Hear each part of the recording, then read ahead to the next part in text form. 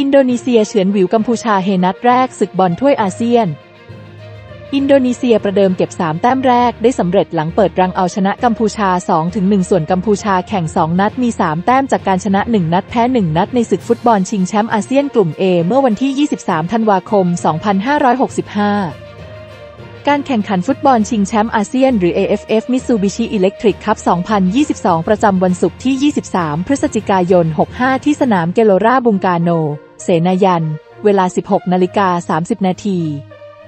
เป็นการลงสนามในกลุ่มเอระหว่างอินโดนีเซียพบกับกัมพูชา โดยเกมนี้อินโดนีเซียลงสนามเป็นนัดแรกขณะที่กัมพูชาลงสนามเป็นนัดที่ 2 โดยเกมแรกเอาชนะฟิลิปปินส์มาได้3-2 เริ่มครึ่งแรกได้เพียง 7 นาทีอินโดนีเซียออกนำหนึ่งถึงศูนย์จากจังหวะที่ปราตามาอาร์ฮานเปิดบอลจากฝั่งซ้ายเข้าไปลุ้นในกรอบเขตโทษทันใดนั้นบอลลอยไปถึงเอกี้ฟิกรีที่อยู่ในกรอบเขตโทษซัดด้วยซ้ายบอลพุ่งสวนตัวแก้ว ซกเซลา นายด่านกัมพูชาเข้าไป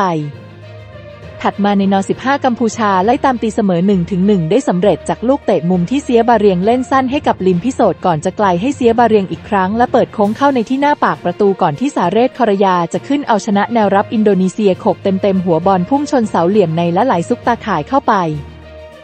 นาที 35 อินโดนีเซียขึ้นนำอีกครั้งจากจังหวะที่แนวรับอินโดนีเซียสาดบอลจากแดนหลังให้กับเอกี้ฟิกรีพาบอลขึ้นไปทางฝั่งขวาก่อนจะตวัดบอลเข้าไปให้วิตันสุไลมานที่รอหน้าปากประตูซัดจ่อจ่อตุงตาข่ายเข้าไปส่งให้อินโดนีเซียขึ้นนำ2ถึง1และจบครึ่งแรกไปด้วยสกอร์นี้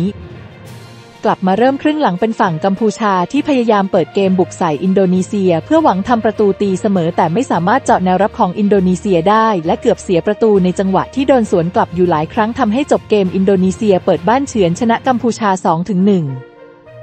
สำหรับโปรแกรมถัดไปของทั้งสองทีมอินโดนีเซียมีคิวบุกไปเยือนบรูไนในวันที่ 26 ธันวาคม 65 เวลา